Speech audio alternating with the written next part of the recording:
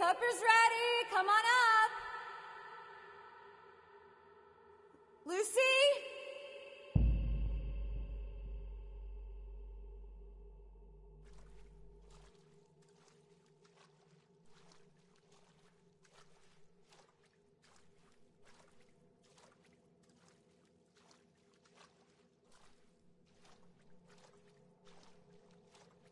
Why would she do that? She loved Pico. I don't know. Never done anything like it. We, uh. I think we should see a professional.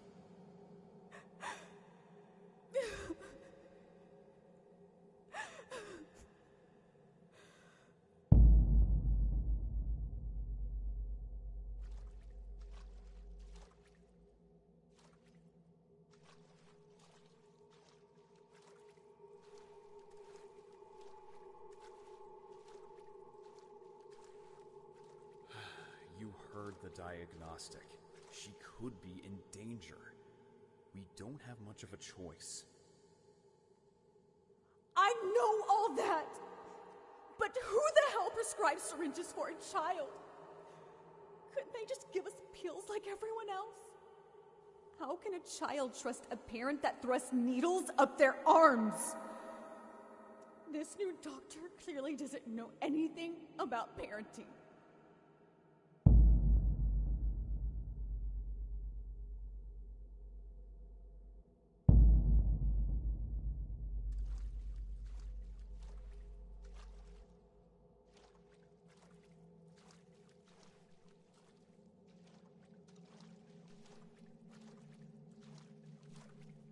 I don't want their help anymore.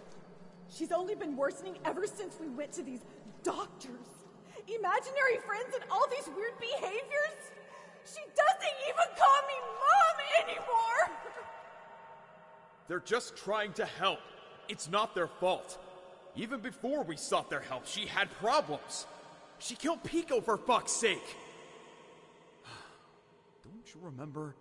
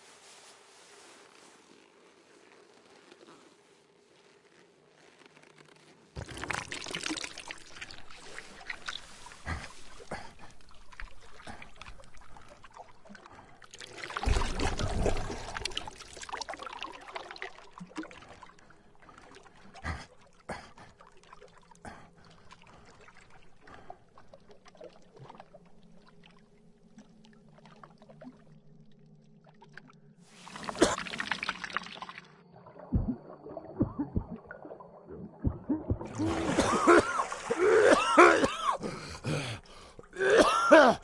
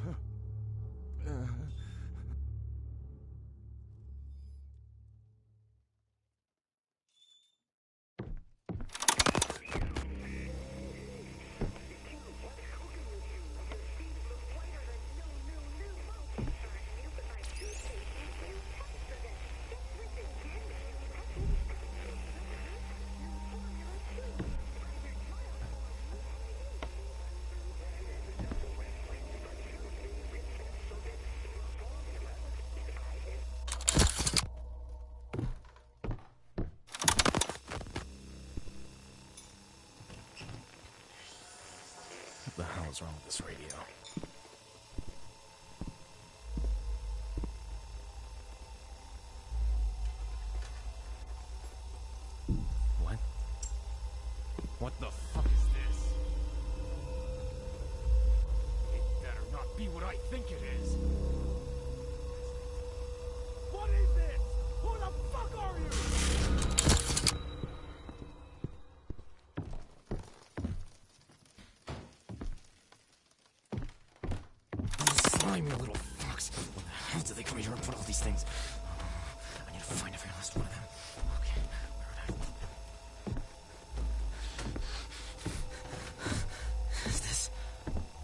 You are, a little piece of crap.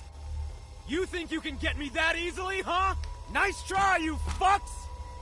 What the fuck do you want, huh? I'm right here! Those little fucks. You think you can find one on me?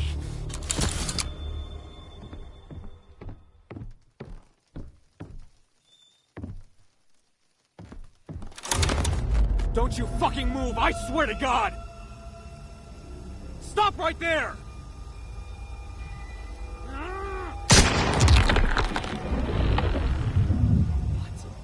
What?